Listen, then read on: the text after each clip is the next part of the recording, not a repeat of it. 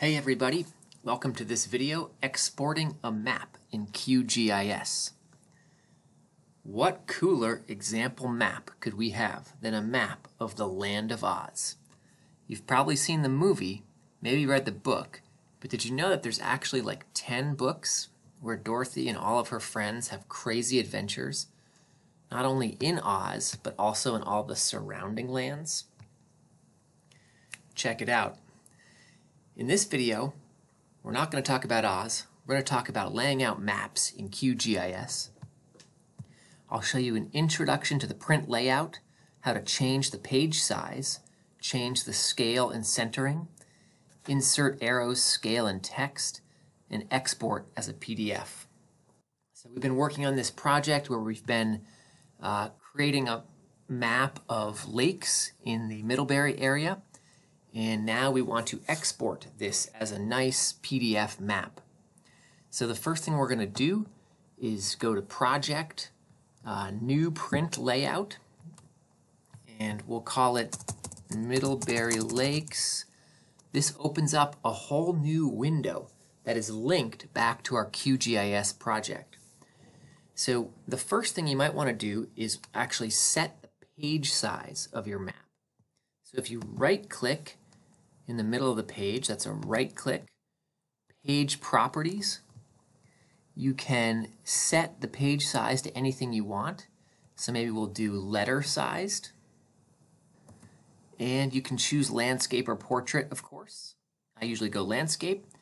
Okay, so when you're happy with your paper size, let's add the actual map. So I'm going to go up top, add item, add map and I'm going to left click and hold to actually draw out the boundaries of the map wherever I would like them. Make this bigger.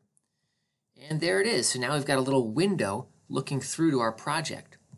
Now, I always like to visualize this layout as, as if you are sitting at a drafting table and you're looking down, right? And maybe the white edge of the page is your drafting table, and you're actually going to be able to now move around elements to that drafting table.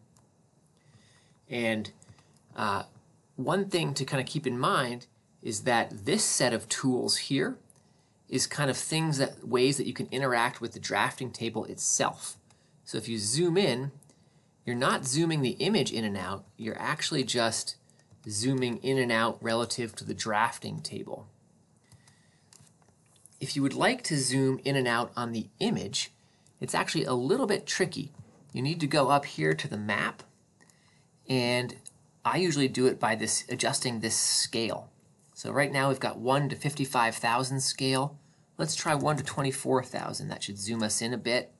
Indeed it does. That looks a little too far in. I'm going to go 1 to 28,000. And now if I want to reposition or recenter, I can actually use this tool move item content right here to actually drag and it will actually recenter the, uh, the map, the image within the kind of layout. Okay, so next let's add uh, a title. How about? So we'll go up to add items and add label. Again, I'm going to left click and hold, draw a box as big as I want it. You can't type directly in the box. You need to actually go over to this kind of items list, highlight the text, and then come down here to the properties. And this is how you interact with any item on your map. So right in this box, I can go ahead and type. Uh, we'll just call it Middlebury Lakes. Obviously, that's too small for a title. So if I want to change the font size, I can go here. Um, and uh, maybe I'll make it a size, oh, 36 font. Maybe we'll go with Arial. Okay, so there's a pretty lame but functional title. And of course you can, you know, you can align, do all kinds of rotations, all kinds of stuff. Okay, for most maps we may want uh, a north arrow. So again, add item, add north arrow and left click and hold. If you draw a big box, you'll get a big arrow. And again, you can adjust some of this, the properties over here. Let's also go for a scale bar. So add item, add scale bar. Again, left click, hold. The bigger the box, the bigger the scale bar. That was maybe a little too big, but sometimes it's going to snap to something functional.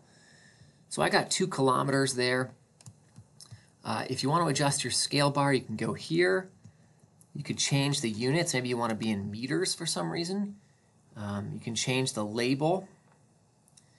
And somewhere in here, you can probably also change the color, although I, I don't know. Uh, oh, here, fonts and colors.